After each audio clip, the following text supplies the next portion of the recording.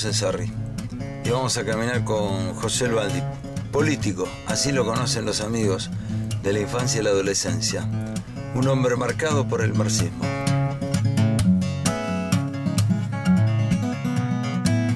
¿No la habrás pintado vos de rosa? No, no, no, no, yo no la pinté de rosa, no, era, estaba bastante más deteriorada cuando yo vivía por acá. Estaba, esta es la vieja casa donde yo me crié. ¿Burruchaga? Burruchaga 142. En realidad me crié por acá, viví en varias casas acá alrededor, pero de esta es la casa que tengo recuerdos. Acá vine cuando tenía unos 5 años y fue la última casa en la que yo viví en Cerri, porque después yo me fui en la casa nueva que le entregaron a mis padres en, en marzo del 76, yo virtualmente lo viví. Porque ¿Marzo del 76? yo ¿Que en el barrio de la entrada? No, no, No. en un barrio acá, enfrente de un amigo, enfrente de, de Fontanela, donde vivía ¿El Pelado? donde vivía el pelado, yo vivía enfrente del pelado. ¿Gran pescador? Gran pescador. Eh, eh, Fanático de Roberto Larroque. El pelado tiene una anécdota, si ahora hablamos de, de fútbol. No, vamos a hablar de política. No, no, pero no, no, pero Alfredo- eh, también podemos hablar de política porque le cabe, le cabe también a, a los políticos. Eh, Alfredo es un hombre eh, así, con, con mucha educación. Sí. Y entonces cuando traíamos a algún jugador, uno puede decir, es un perro. Y vos le preguntabas a Alfredo y Alfredo decía, es aguerrido. te- Bueno, para los políticos eh, cabe la misma cuestión, ¿no? Para, para él, él no, que- cuestión. él no quería decirte que era un perro. Claro, no quería decir que era malo, qué sé yo, entonces decía, bueno, es aguerrido, decía. Fana, fana de Roberto Larroque. Fanático de, de Roberto y una bellísima persona, una persona extraordinaria. Eh, la verdad que él es un hombre muy modesto, pero los trabajadores lo recuerdan realmente muy bien. En cuando cuando vino, la, cuando vino la telefónica y él era un hombre que tenía que, que hacer el ajuste en función de su responsabilidad, este, decidió ir y buscar la indemnización y decir, señores, yo el ajuste no lo voy a hacer. Yo no voy a echar a los compañeros con los que he ayudado a construir esta, esta empresa. La verdad que es uno de esos hombres que, que vale la pena, es un hombre que vale la pena. La verdad yo, yo el mejor de los recuerdos, no, no he sido ni de su camada, ni he sido amigo, pero lo he tratado cuando he estado en el club con él, nosotros estábamos en la Peña Roja y Blanca, él estaba en la comisión directiva, y la verdad tengo el mejor de los recuerdos de Alfredo. José, eh, de- de- de- desde pibe te interesó la política, siempre este, tuviste esa visión marxista de la historia, ese posicionamiento ideológico marxista, lo fuiste a- mamando a medida que fuiste leyendo y te fuiste incorporando a las estructuras del, del Partido Comunista. En etapas, primero, la política desde siempre, la política social, la política... Tu viejo era- era- Mi viejo era un militante, fue con otro grupo de compañeros, por supuesto, Militante estuvo en la fundación de- del, del sindicato, fue paritario, Del sindicato acá de del la carne, sindicato de la carne. Pero, Eh, pero tenía esa visión marxista. no, no, no, no, no, no, no, no. Papá era radical, venía de cuna radical, ellos se van en la división, fue presidente de la UCRI, yo recuerdo... ¿Estuvo con Frondizi? Sí, yo recuerdo el- el- la vieja pieza ahí en, en lo de Montelpare, ahí donde estuvo la CGT, cerquita a la, a la histórica farmacia de Antosia, ahí funcionaba el comité de la UCRI, y lo recuerdo a, a- a mi padre, ¿no? De traje, tiradores y, y sombrero. Y la verdad que siempre discutimos de política. Mi madre era una mujer que se había afiliado al Partido Comunista cuando joven, Ah, ¿sí? Sí, sí, mi madre no era una mujer de ir a la iglesia, pero una mujer de fe. Y se enojó, por decir así, con, con Stalin en función de, de las purgas, sobre todo a los Sí. sectores católicos o De todo eso creyentes. cuando eras pibe De eso hablábamos con eso. Una mujer tremendamente lectora. Mi madre y mi padre se conocieron en el 44 en el frigorífico y la verdad que mi padre aprendió a leer y a escribir bien cuando se casó con mi mamá. Ajá. Mi mamá para la época, mi mamá había nacido el 9 de julio de 1919, había terminado el sexto grado, para aquella época, sobre todo mujer, era una cosa Era un tremendo. título universitario. Así que, que bueno, que se discutía mucho de política, ¿Y por qué te hiciste, por, por- cómo, cómo mamaste el, Bueno. el- el- el- la visión marxista de la historia? Primero yo la- estuve más cerca de, por supuesto, sin nunca afiliarme, yo no me afilié a ningún partido excepto al Partido Comunista. Eh, primero el recuerdo de adolescente en el patio de mi casa cuando ya me interesaba la política y discutíamos de los problemas en la escuela fábrica, estamos hablando de Longaniato. Donde se supone que era una escuela, la escuela peronista, pero la mayoría de esos peronistas que eran bandoristas este, se habían entregado al gobierno de Onganía y nosotros renegábamos contra, contra ese tema. Mi padre un día me saca al patio y me dice, mire amigo, me dice mi hijo, si, si los peronistas son como en este pueblo y los radicales son como en este pueblo, por, por hay, Serri. por Serri, hay que ser peronista, decía papá. Aunque él nunca había sido. pero nunca fue antiperonista. Eh, mi padre nunca fue antiperonista. Mi padre cuando... ¿Vos tampoco? No, jamás, jamás. Jamás. Yo tengo, por supuesto, no solo tengo los mejores eh, mis mejores amigos acá, este es mi lugar en el mundo. Aunque la vida, el trabajo, las obligaciones me hayan llevado a otro, a otro lugar. Pero yo no soy, no, no, jamás fui sido antiperonista. Y, y, mi viejo... ¿Pero por qué te inclinaste para Bueno, ¿por qué? Primero me incliné porque sí... Eh, ¿Leíste, te sí, llevaron? Nunca estuve, nunca estuve cerca de Perón.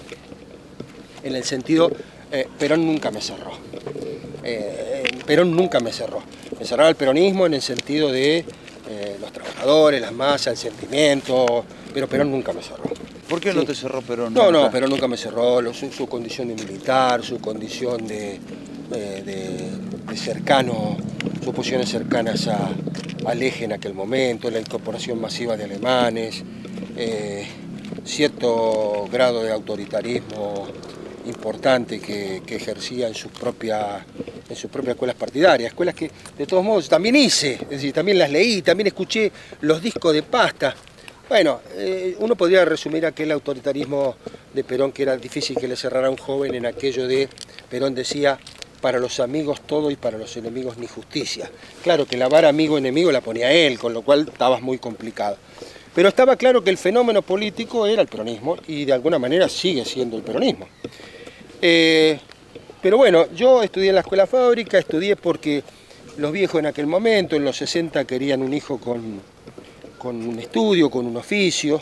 Ese era el destino de los hijos de los trabajadores. Vez trabajaste de no, ese no, oficio? jamás, jamás. Es más, cuando entré a la CAP... Un, un horno, un no, contorno. cuando entré a la CAP, este, como era el hijo de Lucho, y Lucho había sido uno de los mejores despostadores, dicen los que lo conocieron, mi destino fue ir a, a la matanza vacuno, así que jamás. Donde le pegaban jamás, el martillazo jamás, en la cabeza. Sí, sí, sí, jamás. Ahí estabas. Ahí, no, no, no donde pegaba el martillo, pero estuve en varias tareas de, de la matanza de la matanza vacuno, después estuve en la matanza ganar. Bueno, pues no fuimos. Te Sí. fuiste a la escuela. Me fui a la escuela, fábrica claro, por mandato familiar. Por mandato familiar. A vos te hubiera gustado agarrar un libro de historia. A mí me hubiera gustado, me hubiera gustado otra cosa. Así que me, Te hubiera gustado estudiar con, con Nino Benvenuti. me hubiera gustado estudiar con Nino. Un, Licenciatura en historia. Un gran amigo, un hombre al que yo Definí, para, y valor. para, para, no te vayas, no te vayas porque te vas. El Villu, el Villu es eh, licenciado en historia, habla más que vos. Pero Sí. digo, a vos te hubiera gustado eso y, y que estudiaste historia por motus pero propios. estudié historia por votos propios. Y,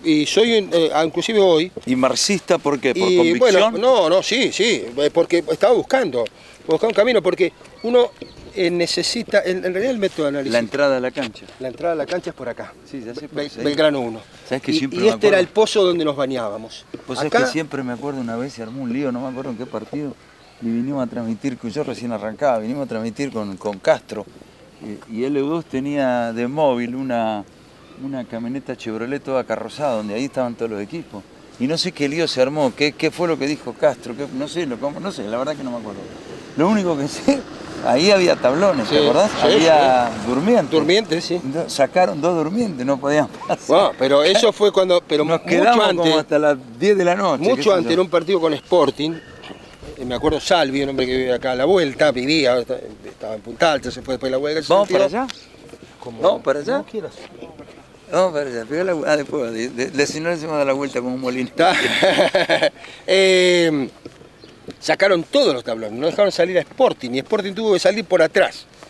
Bueno, por, eh, Bueno, me fui, no ¿por qué, me- por- por qué? Porque eh, si no uno termina en una visión de sobre si tal funcionario es mejor o es peor y se analiza solo la persona, aunque la persona por supuesto hay que analizarla, pero no se anuncia, no se ve, no se logra entender el porqué de la crisis. Bueno, yo empecé este, un gran homenaje a, a los amigos de- del FIP. Yo empecé leyendo a, a Ramos. Si alguien en la Argentina. Jorge Abelardo Claro, Ramos. Si alguien en la Argentina quiere empezar por algún lado a entender el problema de la dependencia en la Argentina, tiene que leer a Jorge Abelardo Ramos. Es un marxista extraordinario, un hombre que ha sido tremendamente crítico del Partido Comunista como estructura, pero es un marxista y un historiador Lo que pasa es que fantástico. después, en la década del 90 se hizo menemista. Claro. No Bueno, hay gente que nada que hace, hace esas Bueno, la contradicción ha- forma parte de hace- nuestra condición hace humana. esas parábolas. Yo le decía a un amigo el otro día, ese es el lugar donde va a terminar Pino Solana. Abelardo Ramos, que fue el historiador más importante que tuvo la izquierda argentina, sin dudas. Oscar Allende, que fue un hombre extraordinario para lo que significó la izquierda democrática en la Argentina, terminó en el menemismo. Nadie sabe muy bien el día que se murió don Oscar. Bueno, yo ojalá viva 100 años más Pino, pero ahí termina Pino, nadie se va a acordar de Pino en estas parábolas de ir un día con uno un día con otro. Entonces me fui haciendo marxista casi sin darme cuenta. Me fui haciendo marxista y me fui haciendo comunista en el sentido de la protesta, en aquel sentido sin conocerlo demasiado. ¿Crees en la, en la, en la, en la teoría, digamos, del proceso histórico como lo establece Marx, que a partir de la revolución del proletariado en algún momento, todavía no ha llegado eso que predijo Marx, en algún momento se termina el capitalismo como, como, como fenómeno social o no crees en eso? Sí, creo, pero no, no desde el punto de vista del determinismo histórico. En eso creímos durante mucho tiempo los marxistas en la Argentina, en lo que se llamó el marxismo escolar o escolástico. En eso estuvimos aferrados y estuvimos dispuestos a bancar cualquier error porque total el futuro era nuestro. Es cierto, pero lo que Marx no pudo prever en aquel momento era la revolución científico-técnica. Hoy las cosas son bastante más complejas. De todos modos, el capitalismo ya ha dado todo lo que tenía que darle a la humanidad. Y le ha, dado, le ha dado guerras, le ha dado hambrunas, le ha dado un mundo desigual, le ha dado un mundo sin oportunidad. El capitalismo no tiene más nada eh, para ofrecer. No es si se va a terminar en dos años, en cinco años o en 20 años. Objetivamente el capitalismo no tiene para darle a los seres humanos absolutamente nada. Vamos a darnos vuelta, vamos a caminar hasta por allá y Pero después ¿cómo? me vas a, en función de esto que acabas de decir, da- yo te doy que dé la vuelta, Nicolás. Esto es televisión, ¿verdad? Me vas a decir entonces si crees en eso que decía hace algunos años, este, si la memoria no me, me falla, Fukuyama, el fin de la historia. Si es cierto o no es cierto, si crees o no crees. Yo no creo el fin de las ideologías, pero te lo voy a preguntar a vos. El que tiene que responder sos vos, no yo. Está bien. Dale, San Sirena, vamos. Este lo hace. Ah,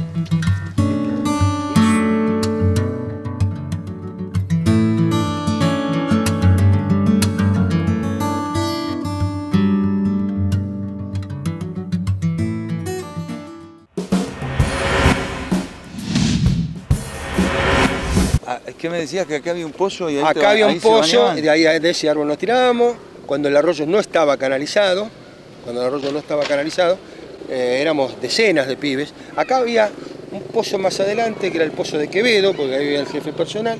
Este pozo, un pozo cerca de la iglesia, otro pozo en, en el, el puente que va a Villarino Viejo. Todos los veranos acá de Y cabeza. después Brusoni, que era un quintero, que ya más, más este, llegando al sauce chico. ¿Qué? ¿Dónde estaba la famosa, lo que se llamaba la famosa compuerta? Claro.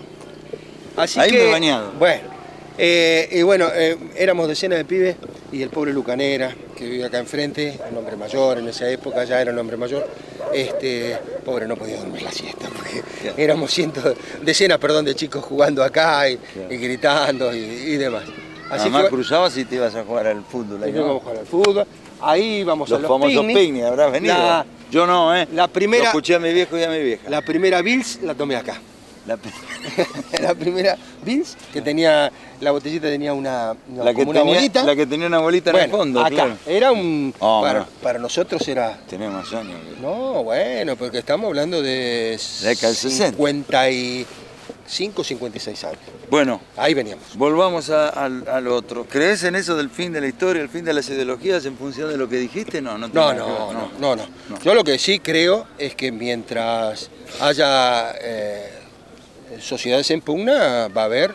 O sea, el mundo que, que preveía Lenin. Se va a dar, el, se va a dar lo que, lo que Marx, hablaba Marx del eh, conflicto permanente. Claro, se va a hablar del conflicto permanente. Por eso las dificultades de Cuba, por eso las dificultades de Venezuela, por eso las dificultades de los procesos democráticos, porque eh, lo que hay son intereses en pugna, no es un problema de buenos y malas, y, y- y malas personas solamente. Yo recuerdo cuando una vez había un conflicto en la CAP de los supervisores, no les pagaban las horas extras.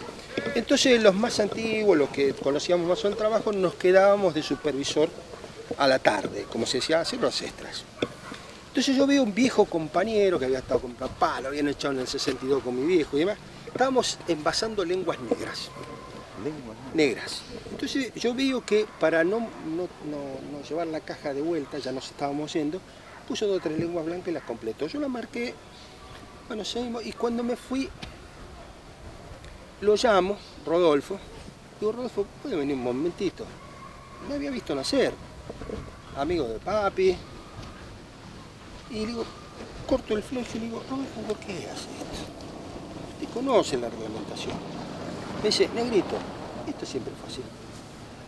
Ustedes los zurdos siempre buscan el pelo. Digo, Rodolfo, esto, esto, es- esto va a quebrar. No puede ser. Se roban la planta por el, por el gozo, hacemos las cosas mal, viene un interventor que no sabe nada.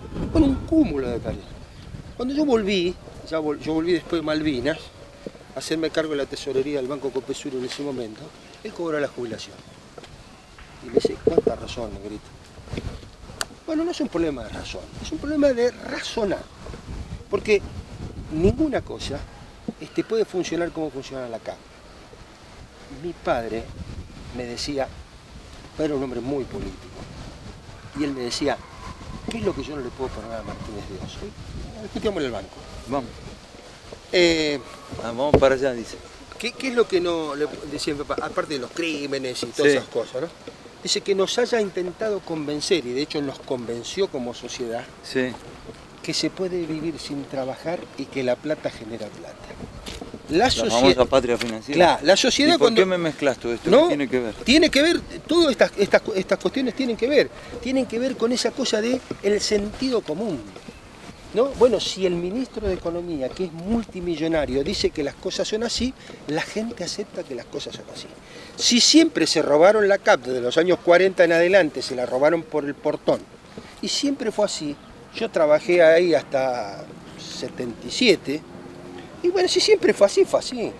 Te entiendo. Pero cuando quisimos acordar no estaba más.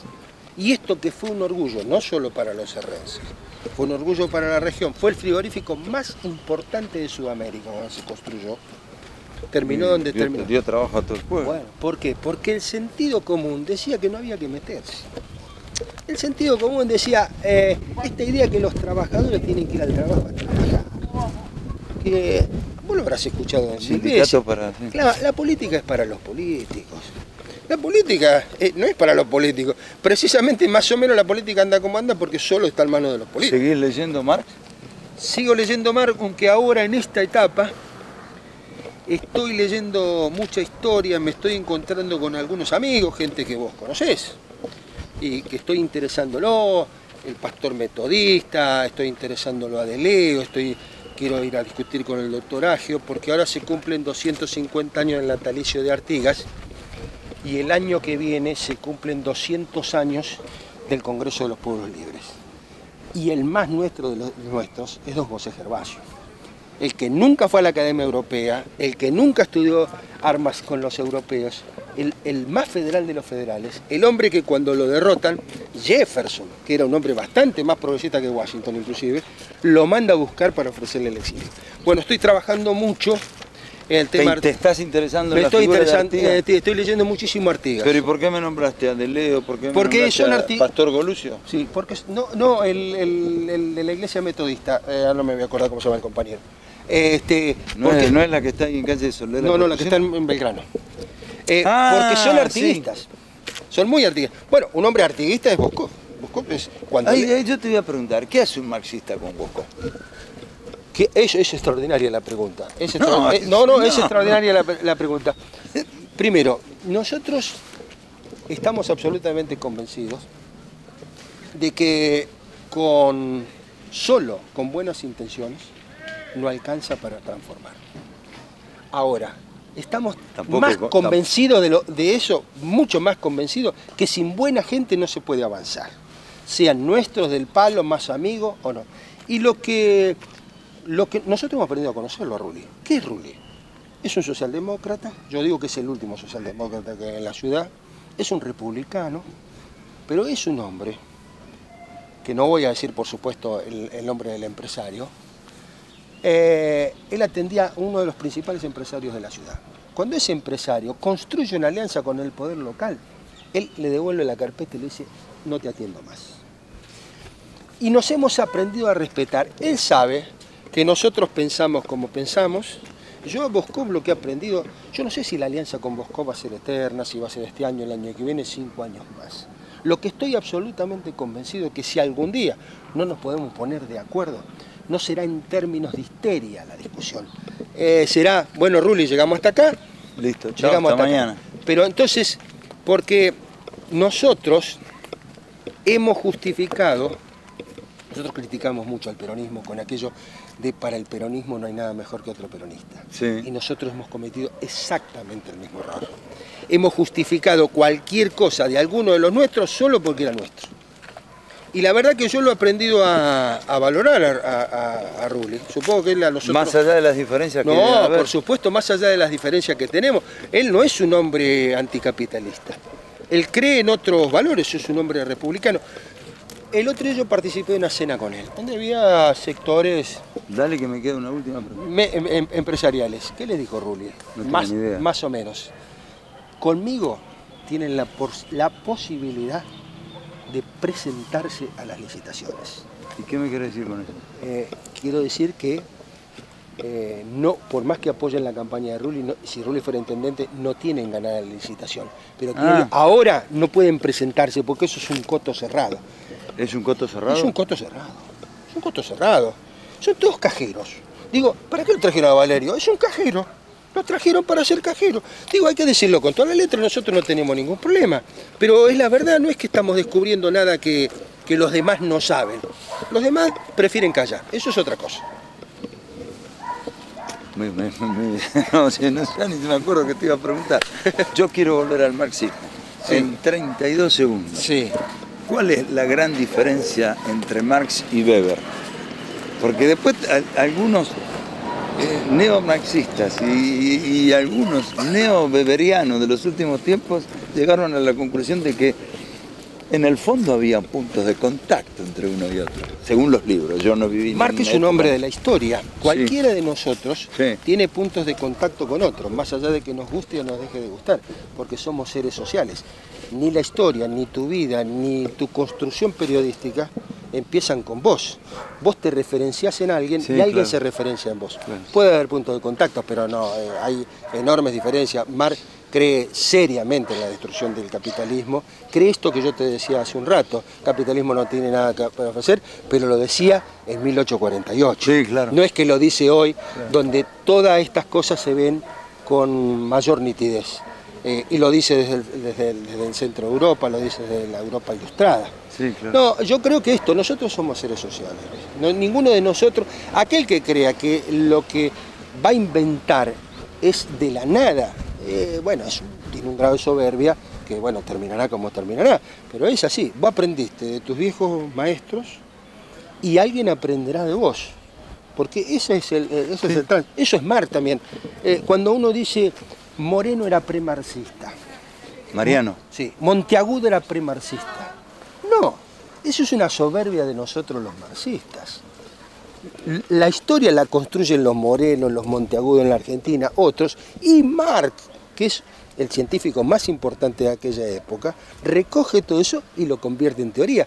No es esta idea de que Moreno era un premarxista, no, Moreno era un hombre que pensaba por sí en aquel momento con los elementos que tenía eh, Marx los puso blanco sobre negro 40 años después.